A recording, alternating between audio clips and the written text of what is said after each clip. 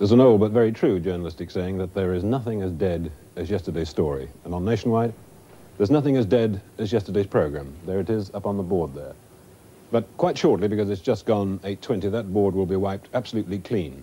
The people who run Nationwide are on their way into the office, and when they get here, the editor of the day will sit here, and opposite him, his producer of the day. Studio presenters like uh, Michael Barrett or Frank Bough will be sitting in this chair, and to their right, people like Sue Lawley or Bob Wellings. And other people are on the way into their offices too, up in Aberdeen, Cardiff, Newcastle, all over the country, the regions, feeding information into here and in return being asked for information. Both of them backed up by the main nationwide production team. In about half an hour, these desks will be filled with uh, researchers, producers, production assistants, not necessarily being all that polite to each other. And over here, the film desk, looking after reporters, directors, and film crews out on the road, sending in films to Nationwide. And the job of all these people is to make sure that a new program appears on that board every day.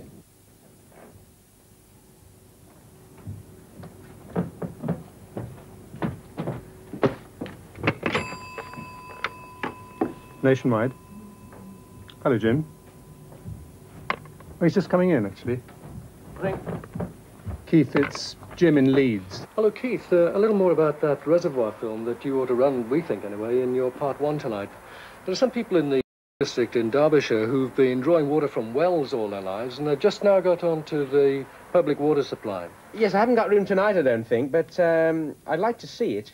Look, let's put it on the train. Could you do that? This is Leeds. This is Leeds. The train out of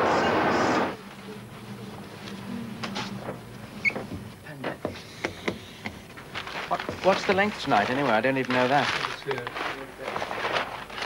I think we should do something uh, about inflation today, very definitely.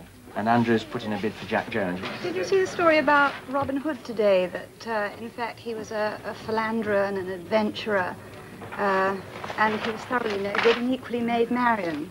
I mean, at a time when we're talking about distribution of incomes and talking about Robin Hood. And... Ooh, that's, that's tenuous, Keith. Maybe not. Maybe not. It's at six o'clock. Andrew's keen on super rats. Yeah, very much in people's nightmarish imagination. I just think we've done super rats, you know, like we've done super lice. And I think there are other stories in the regions that we nearly got together about a fortnight ago. Oh, you mean were out there now? They're, they're They're out there on this now. trip now, are they? Wicked Councils. It has a good ring about it. Hello, Gordon. I'm sorry, Frank's not in at the moment. I'm get him to call you back if you need. Looking fancy for the film road. Morning all. Hello. Morning, Keith. Morning, Frank. Sorry. Rough on the road this morning, was it? You enjoyed, love, you tried. Frank, Phil Tibble too urgently. He's. Don't, can I ask you razor blade between that but we could tie her against the one. Frank, this uh, Welsh farmer story is on the board again. Do you reckon you can check it out for me? The only person who ought to go is Dave Rowley, but, uh, well, I'll ask him. He's be phoning me in shortly, but he's over in Guernsey.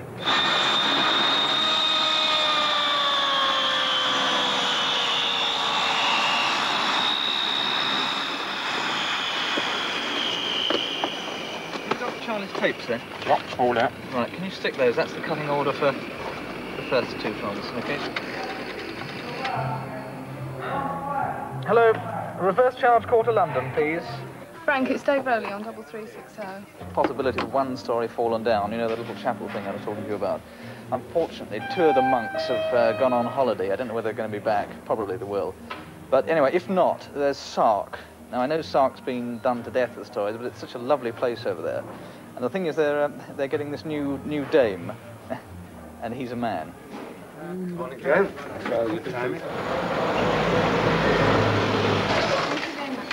See you, Hello, Sue. Fanny Cradock, how Oh. did that interview? It's out today. She's writing books now. That's right. I read it at the weekend, would you believe? Is it any good? Quite good. No grumpy. There we go. She's not What's the matter? Hello. Hello, Sue. Morning. How are you? I'm very well, and you? Very well. Have a nice weekend. That's right. Lovely. I played my first game of tennis, would you believe? Did you? Yes, I got a blister. Oh, James!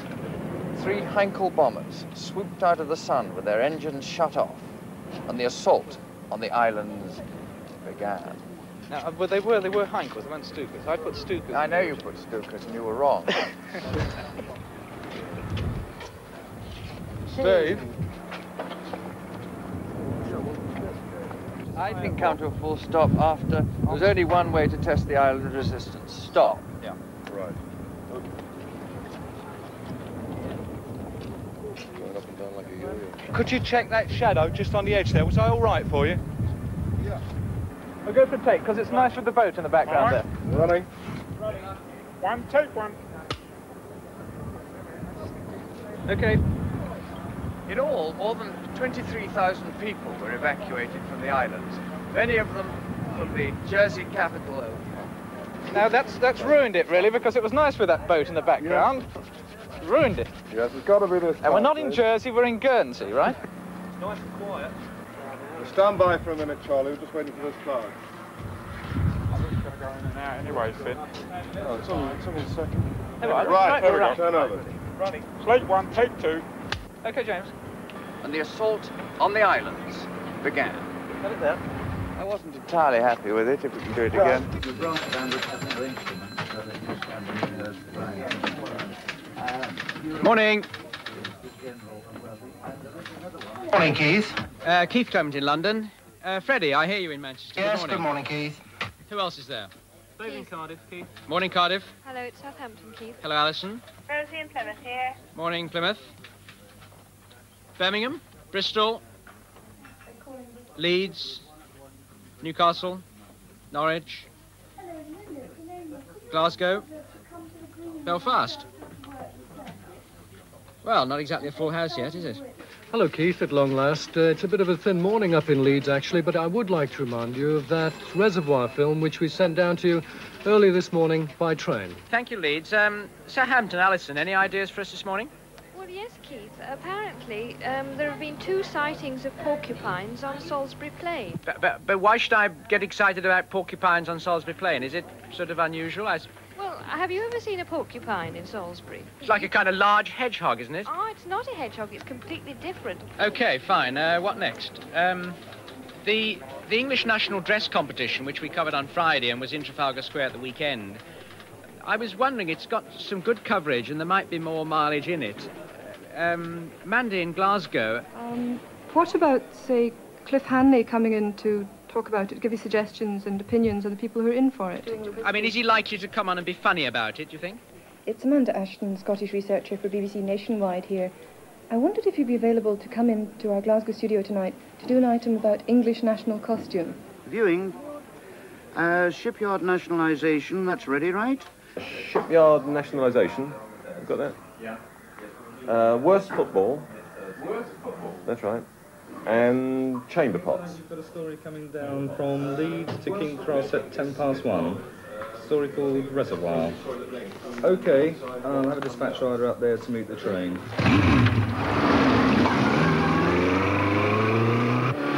Inflation. Who's doing inflation tonight? That's not me. I, d- I simply don't understand. I knew we'd Try get to trouble about this too, you know. Okay. Growing your own tobacco. I did try to say about three times in the program. For advertising smoking? Well, the charge is that we're encouraging people to smoke. Although I said on the program three times that it was a very dangerous thing to do. Mm, so he lighting What's Robin Hood about? I've no idea. No, you really ought to be through to our consumer unit, actually.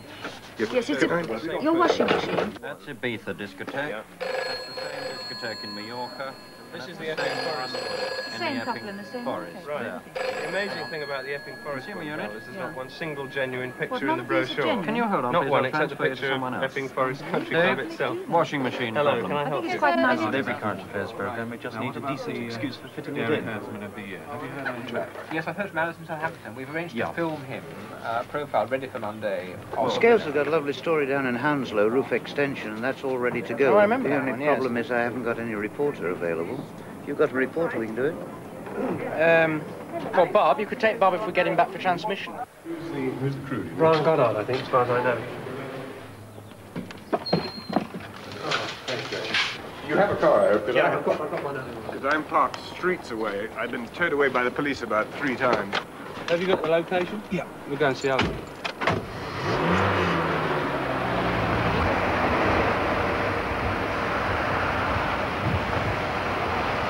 Well, it, it appears that in 1971, this fellow employed a builder to build this loft extension.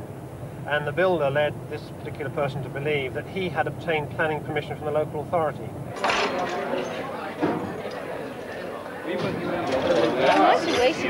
Here at over London Airport, and we should never be able to record sound with those things landing. Let's do it inside. Is the car open, Terry? No. Where's, where's the other person going to be sitting on the end of the on the end of the couch? Yeah, that's got it. That's beautiful. How long are you going to be, mate? So I'll sit five minutes. You sit I think for us, uh, if you sit there, yeah. and your wife sits next to Are you. you using the gun mic, you? You'll have to excuse me if I hesitate a little bit. What did you have breakfast this morning? Yes, I did. What did you have? Uh, cornflakes and Uh, Alan Scales and Bob Welling, and it's for tonight. Um, hang on just a minute. Mike, Yes, that's okay. Yes, just wrong. uh, can the DR go down to 31 Arnold Crescent, Hounslow, and pick up some rushes? Yes, is that for tonight's programme? Yes. But she's put her finger absolutely on the button. I mean, she says exactly what the story is about.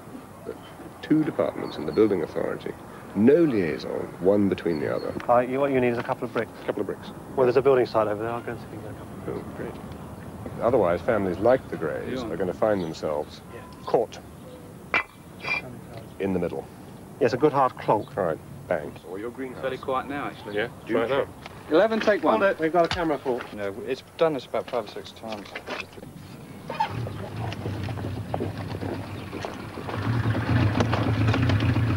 Television centre spur.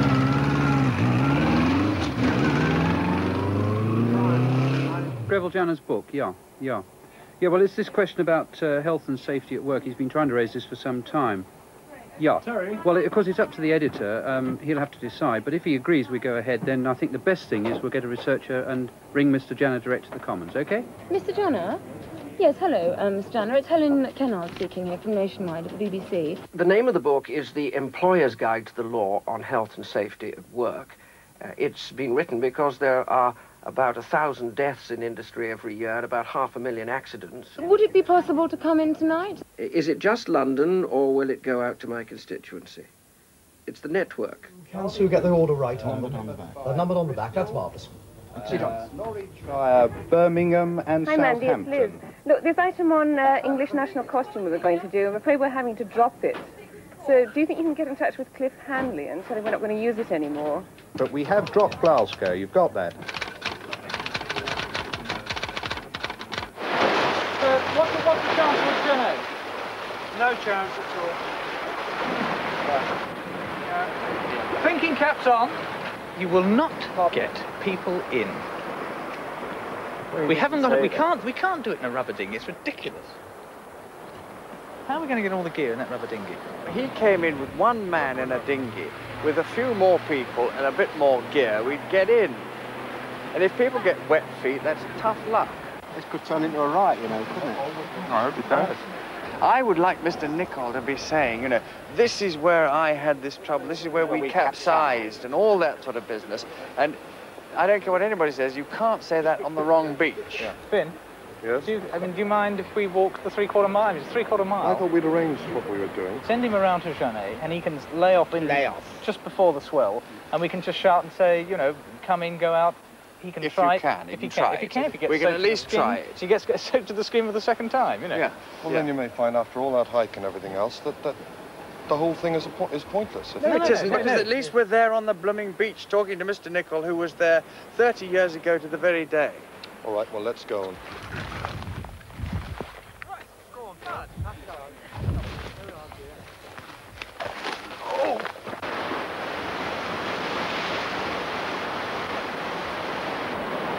Okay, Finn. You running?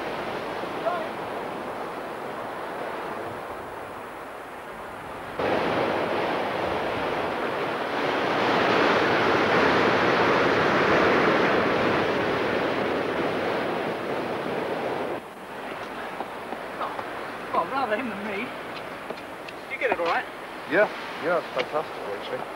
It's got uh, wide stuff, tight stuff, and Well, obviously, the whole- James and Mr. Nicole obviously can't do it, but the thing we can do, of course, is to use him on his own, as Mm. it were, to represent uh, Mr. Nicole Oh, coming in as he did. And as he perfectly. capsized anyway, you know, Yeah. pity he got soaked to the skin. Ingrid, can I have your script, please? 3195 or 3196. Now, hold on a minute, just a second. Yes? Well, I was going to say, it's not really sort of a geared at attracting women. It is just sort No. of good breathing in No, that's fine. Titles. So, good evening. In London and the South East tonight, we talk to the cookbook bestseller who's turned to novel writing, Fanny Cradock. We'll also be investigating the charge that our educational system is very sick and checking on the personal habits, attractive and otherwise, of our colleagues nationwide. There's only one snag. Look North in Manchester are also running the education item. Well, So uh, we ought to check that that won't repeat what they've said. Is that the grooming intro? The grooming intro.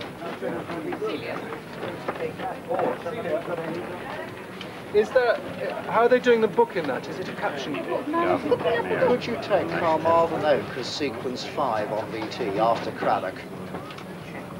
If I did, if I did a trans, a film which I want to transfer. I just haven't got enough machines, that's all. We could get in one of the union people from the construction industry. To give illustration Yeah. of the accident. I mean, Yeah. um, Yeah. Keith didn't Depends on how specifically much ask for that. time he wants to. Keith, Sure. Keith, Keith. how much time are you thinking of giving to this Greville Janner book? No votes tonight. No, sir. One more way to Leicester. Very good, sir. I'd hate it when the powder just sticks on those dry spots. Thank you. Oh, I got a new box. Is this a new box? Yeah, it's got your name on it. Uh, camera two. Uh, round you go, baby. All the way round the back. Can't we do anything about the uh, air conditioning? I'll Yes. So, the lesson... Tak, kan ik ook doen.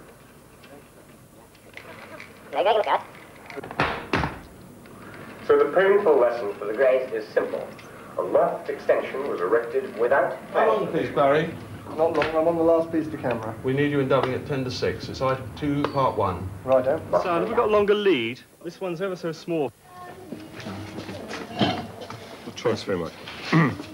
You're all right now, Bobby. Well, I'm about to find out because I haven't quite caught up with myself yet. TK8, would, you like, would you be in a position to rehearse the titles? Okay for a title rehearsal, Mike Sue? Yes, I hear you. Hello, Right, okay, stand by then. And run TK8. Alex, just to check. Your titles are on 8 TK8. Correct. And it'll be O2's ringing, straight Andrew. from TK7 from Marvin. It'll be Oh, direct. two, Andrew. No, straight from TK Hang on. Counting out of Hang titles, ten, nine. I can't do that. Good evening. In London and the South East tonight, we talk to the cookbook bestseller. Cue. And at 6.25, the big match. We have a special film report on the nationwide trophy final. I know why you- I didn't get any light on my camera. Is it working? Camera two takes Sue Lawley's link. Ooh, it's a bit hot. Have you seen your guest yet? Who, Greville Janner? Thanks a lot. Helen Kennard, Nationwide, please. Mr. Janner. Hello, good Hello, evening. welcome. Two minutes, studio, then we're on the air. Alex, can you talk to TK Supervisor, please? On the green. Is anyone looking at the Right, hang, hang on, hang on, hang on. Right? Minute to go. Seven hasn't got any film at the moment apart from, I take it, the, t- the uh, Kamal. 30 seconds. You got headlines? Yes, Fine. okay. Okay. Is it BD21 with on release? Yes, thank you. Nine. Run TK8. Temperature so similar to Nine, eight, seven, Good luck, six, folks. five, four, This is three, BBC One. two, one, zero. On film, on air. Enjoy yourself down there. As soon as I come to you, by the way, one, zoom in to MCU. I'm not passing away so early. Ten, nine, eight, seven, six, five, four, three, two, one. Opt out, Zero. opt out, Iris Q. Good evening. In London and the South East tonight, we talk to the cookery book bestseller What who's next? turned to novel writing, Fanny Ten. Cradock. And a new way of raising funds to give fresh life to Britain's ailing film industry. We meet the city stockbroker who's the cinema's new style backup.